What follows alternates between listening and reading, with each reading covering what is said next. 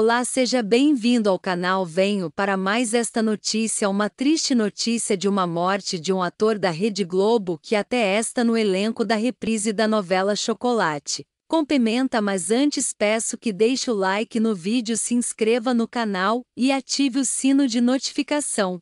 O ator Mário César Camargo morreu. Ele estava longe da televisão desde 2016. Ele participou de Chocolate com Pimenta atualmente em exibição especial na Globo.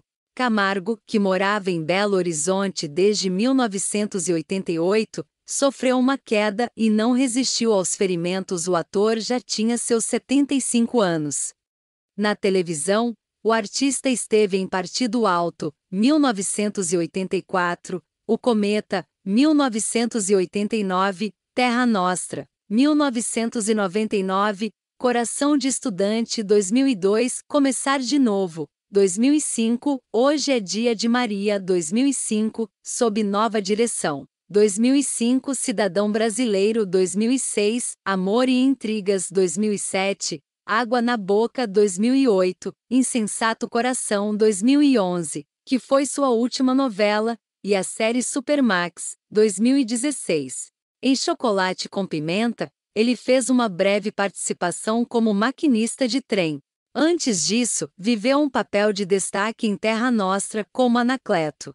Mário, que nasceu em Marília, SP, iniciou sua carreira artística no Centro Popular de Cultura da União Nacional de Estudantes, no começo da década de 1960. Fez cursos de teatro com Eugênio Kuzner e Antônio Abujamra, e viu sua carreira deslanchar em 1982, quando interpretou Giovanni Baracheta, em Bela Cial, de Luiz Alberto de Abreu. Também atuou em diversos filmes. O ator era casado com psicanalista Mônica Belisário e tinha uma filha Laura. Uma grande perca triste, né, gente? Que ele descanse em paz e que Deus reconforte o coração de toda a família. Deixe o like no vídeo e se inscreva no canal.